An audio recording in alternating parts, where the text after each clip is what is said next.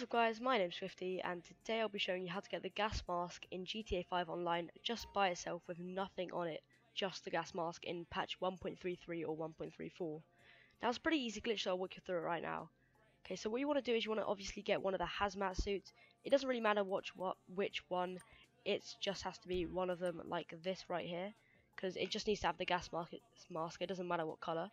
So once you've got that and you just want to go to your interaction menu and it must be in your interaction menu because it will not work in your actual wardrobe and then you just want to simply put a scarf on.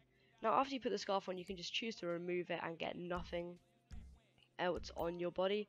But from here on out that's your gas mask. And if you want to look like I did in the thumbnail with the helmet on as well I'll leave a link in the description to my glitch video or tutorial on how to get the helmet with it as well. So you can pretty much replicate it with this mask. But as far as this is concerned right now it hasn't been patched for um, quite a few updates since 1.29, so just use it at free will. Thanks for watching guys, I hope you like this glitch, and I'll see you in the next one.